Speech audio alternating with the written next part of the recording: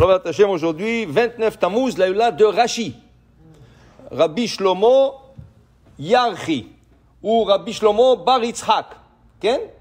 Alors, Rashi, qui était né par, un, par une, action extraordinaire que son père a fait. Son père se promenait un jour au bord de la mer et il a vu quelque chose de brillant dans le sable. Il a ramassé, c'était un grand diamant, à la taille d'un œuf. Un grand diamant. Alors, il, il, a pris ça, et là, il cherchait à le vendre. Et là, le roi, le roi, il entend comme quoi il veut le vendre. Et là, le roi sait exactement le diamant qu'il fallait. Pourquoi? Il avait une idole, et il manquait la deuxième œil de cette idole. Il avait déjà un diamant à cette taille. Et le roi, il lui a envoyé des messagers, il lui a dit, écoute, n'importe quel prix, c'est pas important l'argent. Rien que donne-moi le diamant. Rachid, euh, le père, Itzhak, il disait, moi je vais lui donner un diamant pour la Avodazara, moi je vais participer à ça. Jamais de la vie. Alors il lui a dit non, il a refusé, pas maintenant, après. Le roi a dit, écoute, on va sortir dans une croisière, moi et toi, on va discuter de ça. Il lui a pris son, bateau privé, le roi, et ils étaient en, en, pleine mer, et lui disait, nous, eh, comment, tu veux, écoute, je peux te donner beaucoup de choses et tout ça. Laisse-moi réfléchir. Qu'est-ce qu'il a fait, le père? Il est parti sur le, sur le, au bord du de bateau, et il regardait comme ça au soleil, comme s'il regardait le diamant, il a fait tomber exprès dans l'eau. Et là, il commençait à pleurer et tout ça. Il a dit, qu'est-ce que tu as? Il dit, waouh qui c'est qui vient me récupérer ça? Je peux pas, je viens de perdre des millions, j'aurais pu demander des millions et tout ça. Il a dit, calme-toi, calme-toi, ok, ça va, qu'est-ce qu'on va faire? Il, a, il lui a même donné un petit cadeau, il a envoyé chez lui. Le soir, il est arrivé, on lui a dit, toi, tu n'as pas donné ce diamant pour éclairer une avodazara. Je vais te donner un fils qui va éclairer le monde entier, le, judaïsme entier. C'était Rachi. Et c'est comme ça que Rachi est né. Okay? Rachi, dans son vivant, il a fait 613 jeunes. Il a jeûné 613 jours pour commencer à faire le commentaire sur la Torah. Et là, il est arrivé à faire le commentaire sur toute la Torah. Rashi, il écrivait ses commentaires sur des bouts de papier. Il appelait contras. Contras, c'est des petits carnets. C'est des petits carnets. Il n'y avait pas où écrire à l'époque. Alors, c'était des, petits papiers qu'il écrivait. Et sa fille, il n'avait pas de garçons, il n'avait que des filles. Une de ses filles a ramassé tous ces carnets.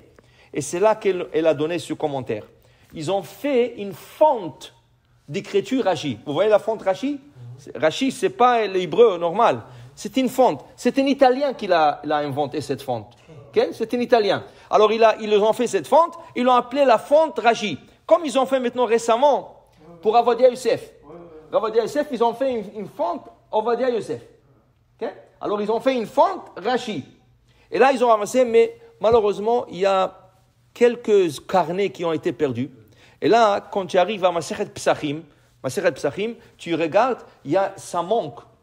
Bon, il, avait des, petits-enfants, des, génies, des, des Olam. Le Rashbam, Rabbi Shemuel Bar Meir, qui a écrit tout un commentaire sur la Torah, sur la beaucoup de choses. Il avait Rabbi Nutam, Rabbi Yaakov, fils de Rabbi Meir. Il avait des Géoné Olam. Et tout le balai à Tosfot, c'est ses petits-enfants, à peu près 400 tous des géonim, des, des, grandes sommités. Tout ça a mérité le père de Rashi, Rabbi Yitzhak, parce qu'il ne il, voulait pas participer à une Avodazara. Et voilà qu'est-ce qu'il a eu comme mérite Rashi. Rashi, il n'y a pas une place dans la Torah où il n'a pas commenté. Il a commenté tout le Chumash. Il a commenté le, le Tehillim, il a commenté les prophètes, il a commenté la Gemara. Il y a la Mishnah aussi dans la Gemara. Où tu trouves pas Rashi au Maroc, au Maroc, ils l'ont tellement considéré Arashi, quand ils, étudiaient au Maroc, la Gemara, ils cachaient la partie de Rashi. Ils cachaient partie de Rashi et ils disaient Kodem Rassi, après Rashi. D'abord ma tête, Ras. Ras c'est roche. D'abord, je vais étudier avec ma tête, ensuite je vais étudier Rashi. Pourquoi ils ont fait ce système au Maroc? Ils ont dit d'abord on va expliquer la Gemara à notre compréhension. Après, on va voir Rashi.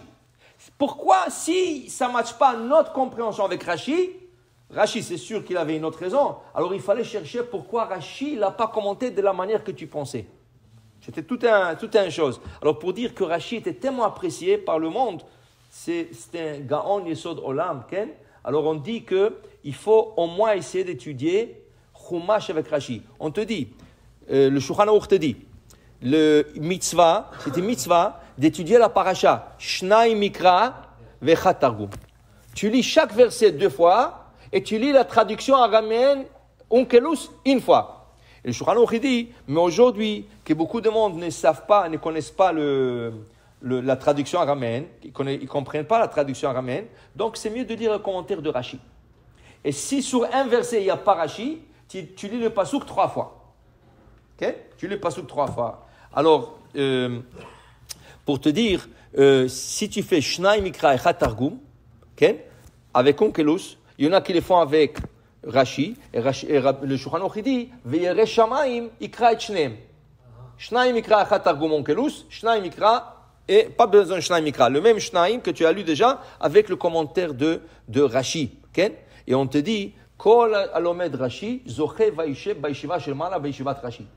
Si tu le fais, tu auras le srout de s'asseoir là-bas dans la yeshiva de Rashi, étudier avec Rashi lui-même, srout yagen alenu, va kol amo Israël, baruch Adonai le'olam, amen ve amen.